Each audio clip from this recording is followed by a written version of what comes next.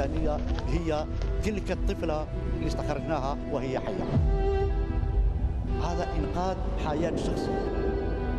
ترجع ما تأكل وهم هذا الطفل توفى كافة إفراد العائلة تبعيته. بقي هو الوحيد الناجي. امورك منيحه يلا. أنت من الاسعاف هلا لا تخاف. إحنا صار الصورة اللي عم عم نكون فيها آه، مختلفة. نحن كل حالة بحد ذاتها عم بتكون لها لها معنى ولها أثر.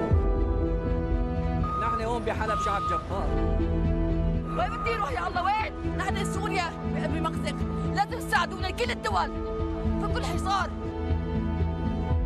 بدنا نعيش. ناس كيف بقى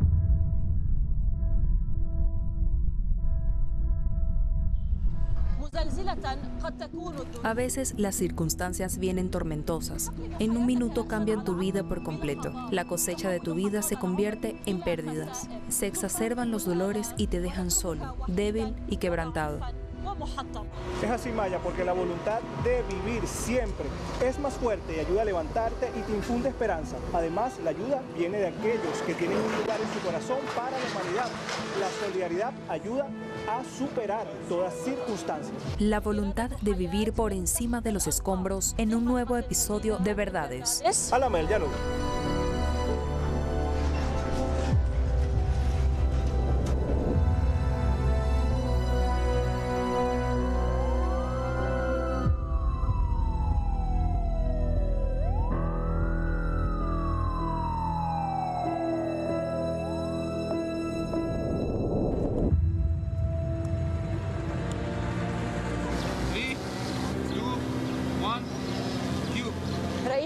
Presidente de la Comisión de Relaciones Exteriores del Parlamento sirio, el diputado Botros Morjana. Hola, bienvenido a Verdades.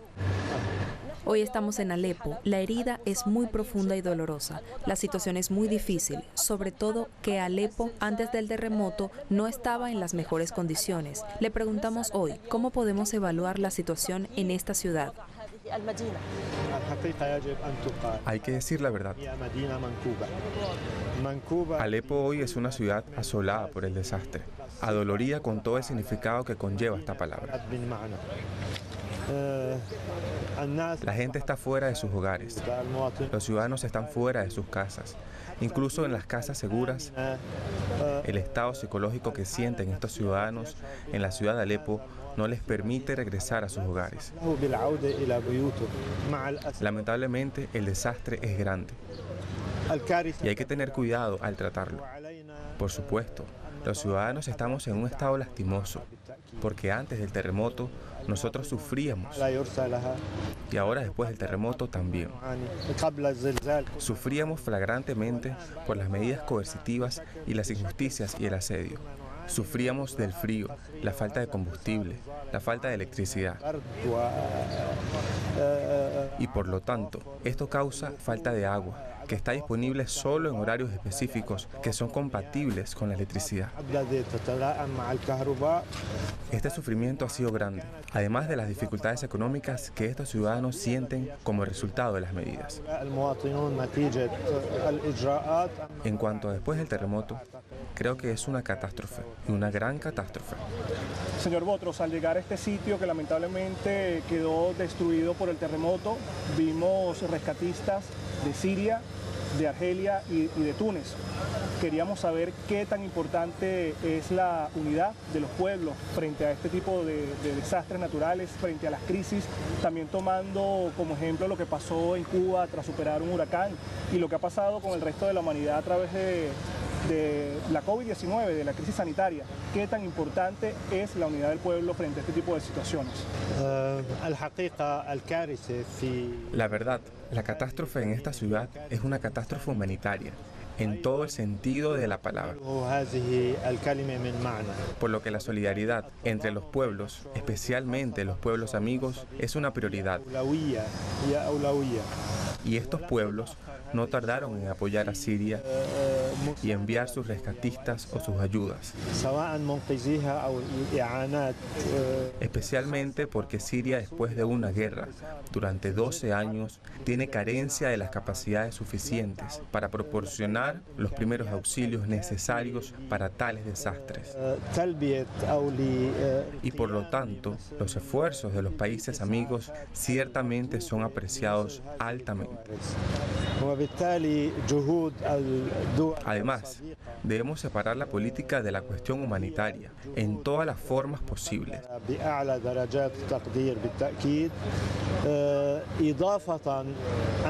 Pero lamentablemente, nosotros en Siria hasta el momento sentimos que la humanidad está al servicio de la política y no al revés, por desgracia.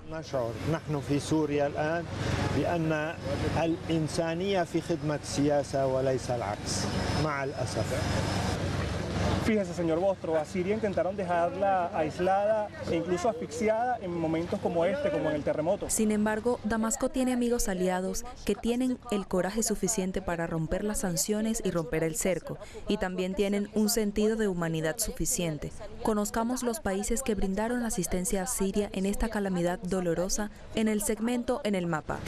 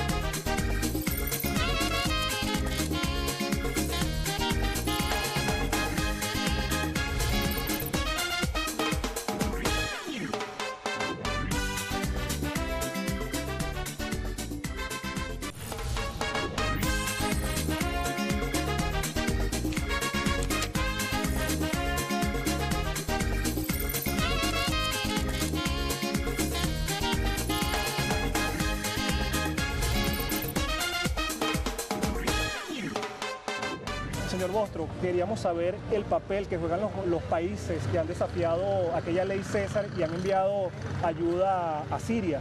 Eh, podemos también citar el caso de, por ejemplo, Irán, que envió en un momento determinado buques hacia Venezuela para ayudarla a nivel energético. Por supuesto.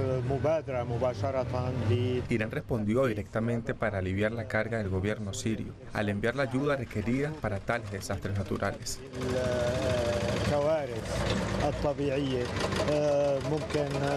Podemos decir Rusia, podemos decir Argelia, podemos decir Túnez, incluso con las capacidades con que llegaron. Pero esta simpatía significa mucho. Hay muchos países que desafiaron este bloqueo y enviaron directamente sin ceder a ninguna presión. Los Emiratos Árabes Unidos ciertamente enviaron muchos aviones. Y pido disculpas por no mencionar todos los países que ahora no recuerdo. Ciertamente hay muchos países que contribuyeron a apoyar al pueblo sirio en esta catástrofe humanitaria.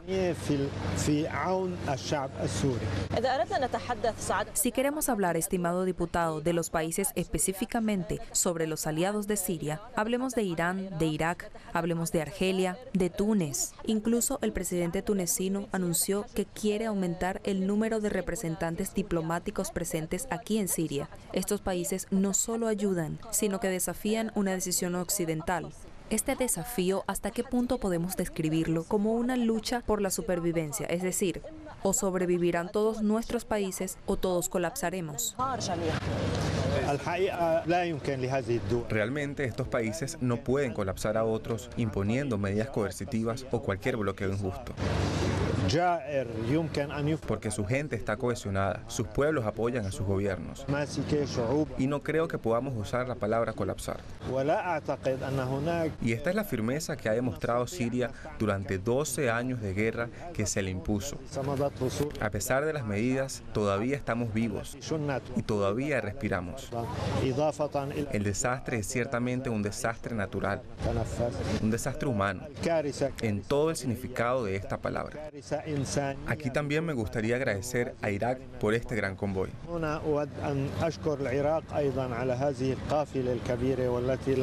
Que fue amenazado, por cierto. Ciertamente. Irak envió ayuda a pesar de las presiones que ejercen sobre el gobierno iraquí. Pero es un pueblo hermano y sus fronteras son adyacentes a Siria. Y por lo tanto, esto es muy normal. Además del Líbano, hay muchos equipos de ambulancias especializados que llegaron a ayudar a Siria. Todo esto da muestra de que estos pueblos se aman y el pueblo que ama la vida no puede colapsarse.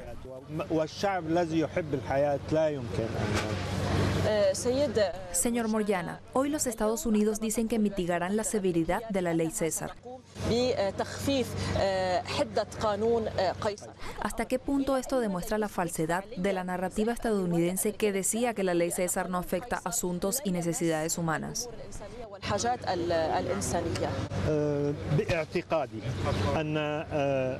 Creo que esta decisión de Estados Unidos es solo un anuncio mediático y su efecto en el terreno no pasará de una simple ayuda que ya llegó a Siria o está camino a Siria.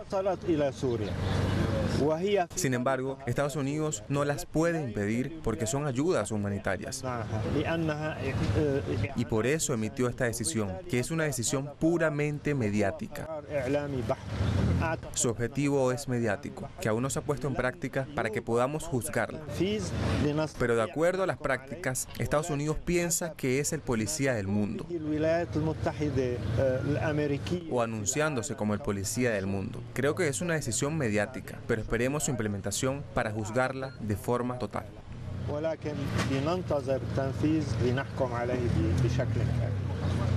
Señor Botros, estamos en Alepo, una de las zonas más afectadas por el terremoto ocurrido a principios de este mes de febrero del año 2023. Efectivamente, Aaron. Alepo ha sido golpeada por más de un terremoto a lo largo de la historia y ha sido completamente borrada del mapa. Conozcamos sobre este tema en el segmento Por si no lo sabe.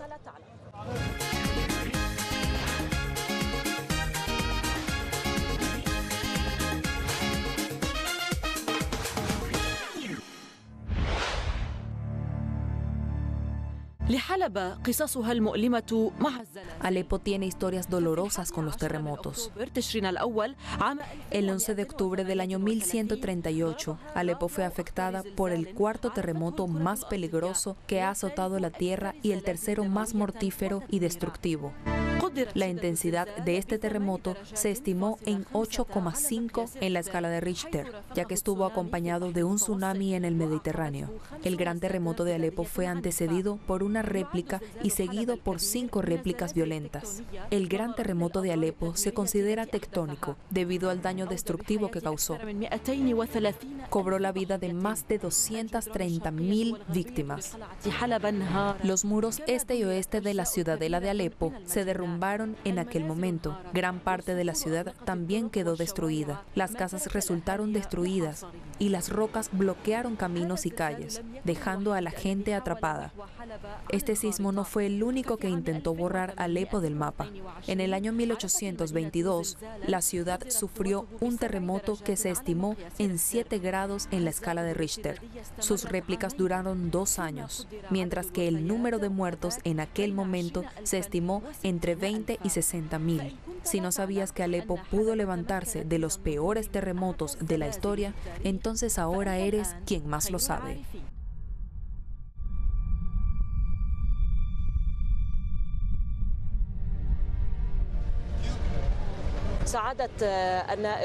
Señor diputado, aquí en pantalla aparece frente a nosotros la media luna roja árabe siria y también la media luna argelina. Hay solidaridad entre los jóvenes y también vimos hace poco tiempo personas de Túnez. Había equipos de Irán. Creo que habían perros especializados en buscar víctimas debajo de los escombros. Todas las ciudades del mundo están expuestas a desastres, no hay duda de eso. Pero ¿qué modelo demostró la juventud siria, que buscó y sacó con sus propias manos sobrevivientes debajo de los escombros? Como sabemos, desde los primeros momentos del desastre, los jóvenes sirios fueron directamente a los sitios y comenzaron con sus propias manos a buscar debajo de los escombros a ver qué pueden salvar de los sobrevivientes. Especialmente debido a las débiles capacidades logísticas, equipos y maquinarias para este tipo de desastres. Hoy, este tema es un tema humanitario, en el que todas las partes deben unirse y deben dejar de lado todo lo que afecta a este aspecto humanitario.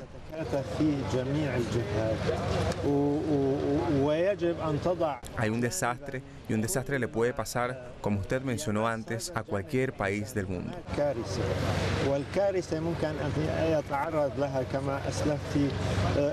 Por lo tanto, creo que lo que se está haciendo, ya sea por parte de la juventud siria o de la juventud de otros países hermanos y amigos que llegaron a Siria, es algo natural. Como podemos decir, y por lo tanto creo que la cuestión es muy natural. Y esto demuestra que la voluntad de vivir es muy fuerte en estos jóvenes.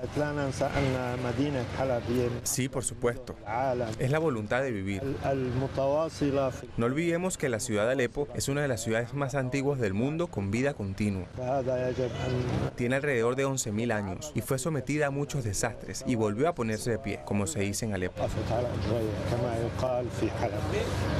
Señor Botros, ¿cómo se puede profundizar la solidaridad de los pueblos del mundo del sur frente a este tipo de desastres naturales? ¿Será que es posible que se tiendan puentes a través de un contingente humano? Tenemos entendido que Siria ya ha recibido la solidaridad de, de, un país tan, tan lejano como Venezuela. Definitivamente este es un tema muy importante. Y por lo tanto, creo que después de este desastre, o digamos después de salir de esta situación, seguro será necesario hacer un ejército humanitario para trabajar en los países del sur, para brindar ayuda y socorro en caso de desastres de este tipo en estos países.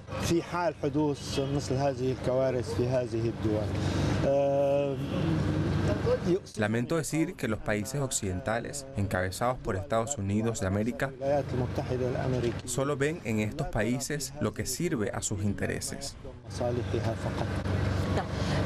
Señor Botros, para concluir, ¿qué podemos decir en este episodio a cada joven, hombre o mujer que realmente ha perdido la esperanza después de este terremoto y de esta dolorosa aflicción que azotó a Siria?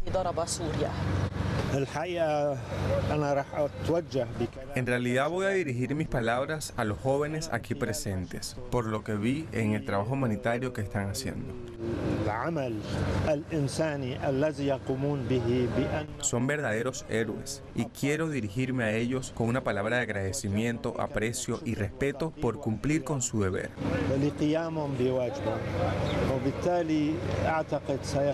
Por lo tanto, creo que saldrán fortalecidos de esta crisis porque la vivieron y ejercieron su labor humanitaria con sus propias manos desde el primer momento hasta ahora.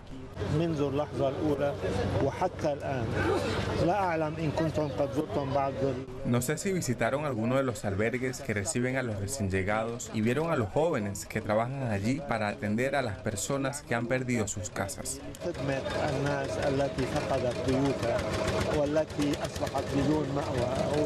Y que se han refugiado en estos sitios, que son muchos en la ciudad de Alepo. Y ninguno de estos jóvenes escatima esfuerzos ni trabajo para ayudar a una persona en esta ciudad afligida.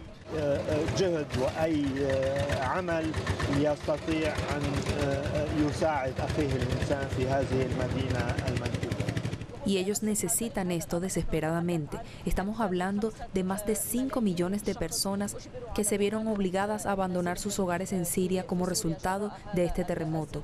Aquí para terminar, permítame decir, usted nos había preguntado si habíamos visitado uno de los centros donde se acogió a las personas sin hogar a raíz de este terremoto. Habíamos visitado un centro que prepara comidas para todos los afectados por este terremoto, donde los que preparan estas comidas no solo son de Siria, sino también de más de una nacionalidad. Antes de conocer este centro, le doy las gracias, señor presidente de la Comisión de Relaciones Exteriores del Parlamento sirio, diputado Boutros Morgana. Muchas gracias por estar con nosotros en este nuevo episodio de Verdades. Gracias al canal por cubrir este terrible suceso. Y esperamos salir de esto con buena salud y deseamos paz y seguridad para todos. Estamos frente a una catástrofe humanitaria. Yo no creo que esto impida brindar servicios a este pueblo que ha resistido durante mucho tiempo. Gracias al Mayadín.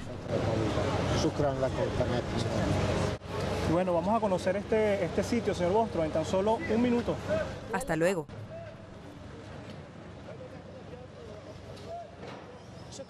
شكرا لكم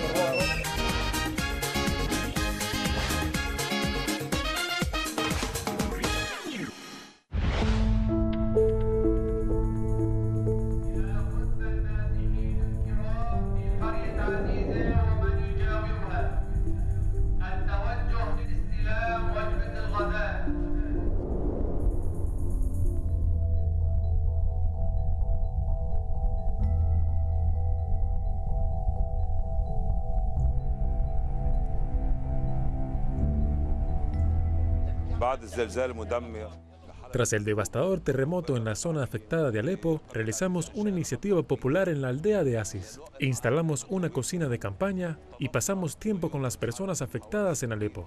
Recibimos a unos voluntarios de Alepo y ofrecemos comidas diarias en un territorio de aproximadamente 2.800 a 3.000 habitantes. Para los refugios establecidos por el gobierno en cualquier área, solicitamos comida.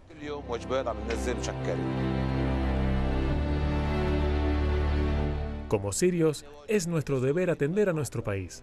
Si Alepo está destruido, todos debemos tener una capacidad voluntaria.